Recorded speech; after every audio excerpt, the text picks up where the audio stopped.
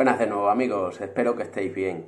Seguimos adelante con esta nueva temporada hablando de un código de avería para eh, un solo vídeo. En este caso vamos a hablar de la roca Victoria o Baxi Roca ya, Victoria Condens.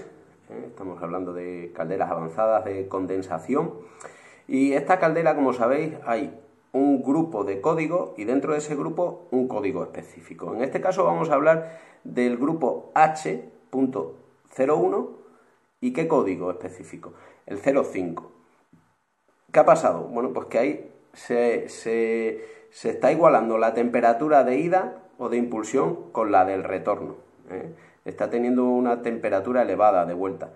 Entonces, ¿por qué puede ser? Bueno, puede ser que el intercambiador eh, esté sucio. Bueno, pues vamos a verlo, ¿no?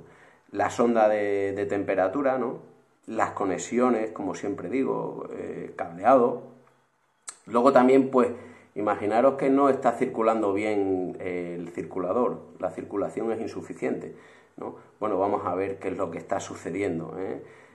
podemos activar un ciclo ¿no? de purgado, desaireación que se llama, y luego también la presión que tengamos en el circuito. Vigilar todas estas cosas que es, es importante porque ha habido un máximo de temperatura. ¿Vale amigos? Chao.